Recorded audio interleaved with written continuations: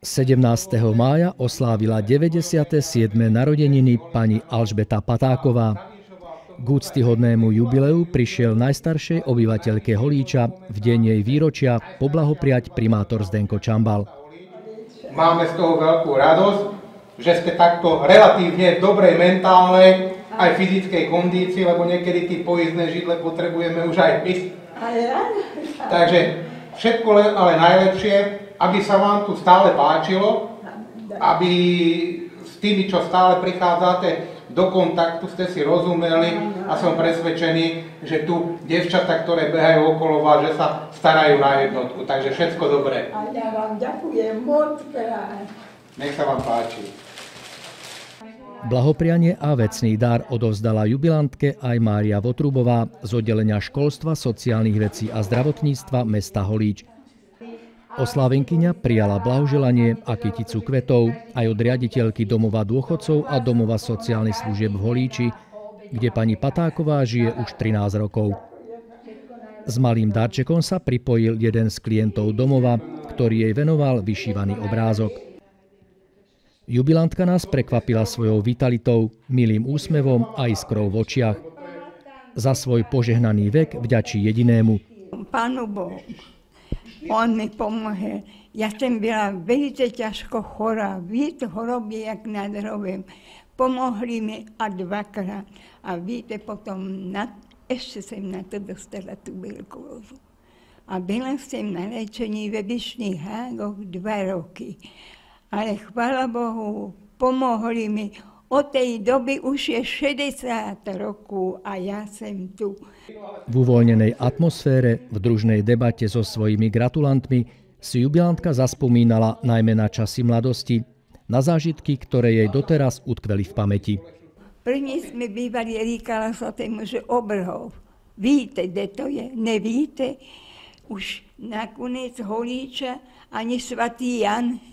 No, tak svatý Jan, a tak to byl, to byl majer, veľký, veľkostatý. Tak tam sme bývali, otec byl tam jako dozorce. No a potom jemu sa stalo tragédia. Vydávala som sa, mala som 20 rokov, manžel o 5 rokov starší. No, mali sme dve deti, syna a dceru. Žili sme opravdu, mieli sme sa rádi až do smrti. Pani Patáková ovdovela pred 26 rokmi. Vychovala dve deti, má tri vnúčky a šest pravnúčat. Malá oslava životného výročia sa uskutočnila aj za prítomnosti jej céry, ktorá ju prišla navštíviť i s manželom. A keďže v holíckom domove býva aj jubilantkín syn, v deň narodenín sa najbližšia rodina opäť tešila zo spoločného stretnutia. I napriek veku sa oslávenkyňa cíti pomerne zdravá, slabšie počuje, ale má výbornú pamäť. Dôkazom sú verše básne, ktorú recitovala ešte v časoch svojej mladosti. Tatry ma zrodili, oni ma na rukách materských nosili, strieborného váhu, vlnky mi hrávali, Tatranskej doline lásku ma objať. Slovenka som ja a Slovenku navždy ostane. Pani Patáková našla svoj domov pokojnej staroby v holíckom zariadení pre seniorov. Spoločnosť jej robia dve spolubývajúce, väčšinu dňa prežíva po svojom. Ležím ja sem jenom na posteli, tak sa modlím. To je moje modlica, za chvíľku si ako odpočinem. Inšie robiť nemôžem, nemôžem, nechodím.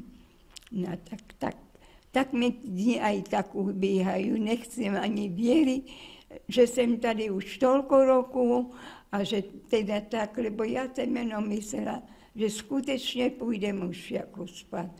No ale pán Bilek mňa drží ešte tak, jak sa stane púla Boží, jak to dojde. Som pripravená. I napriek týmto slovám však skromná starenka berie život s radosťou a pohodou. Skromné je aj jej jediné prianie. Zdravíčko, aby nemocela úplne jak mŕtvola ležať na tej posteli.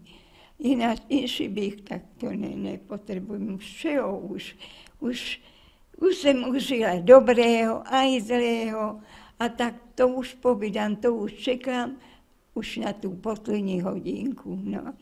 Pani Alžbete Patákovej zaželajme do ďalších rokov, okrem pevného zdravia a Božieho požehnania, len to dobré. Verme, že sa vyplnia aj slová primátora, ktorý oslávenkyni prislúbil odovzdať osobne svoje gratulácie pri príležitosti okrúhlej storočnice jej života.